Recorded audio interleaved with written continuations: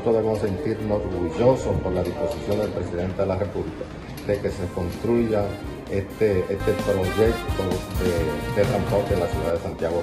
Ustedes verán en el futuro que los que hoy protestan van a ser los beneficiados. El sector transporte en este término, en, este sentido, habrá de beneficiarse grandemente, grandemente con la llegada de turistas, con la llegada de nuevas personas, con gente que vendrá de otra provincia a visitarlo. Director del Intran en Santiago destaca inversión del gobierno en el monorriel y teleférico.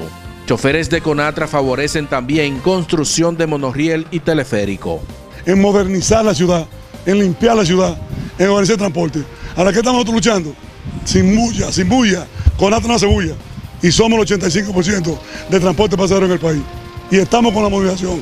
Y estamos con el presidente, que está invirtiendo en Santiago.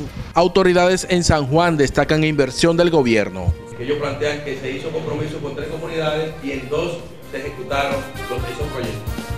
Eh, entonces tenemos eso para eh, analizarlo, con ver si hay algún tipo de documento y entonces ver también con las autoridades de acá. Canal Messier Bogar registra otra avería, deja sin agua a miles de personas. Matan joven en el ciruelito de Santiago en medio de teteo a las 6 de la mañana. Y por ahí abajo mataron, yo no sé si fue antier, mataron dos.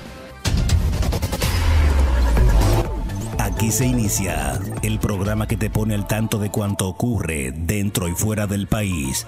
Cibao despierta. Cibao despierta. Información con criterio profesional.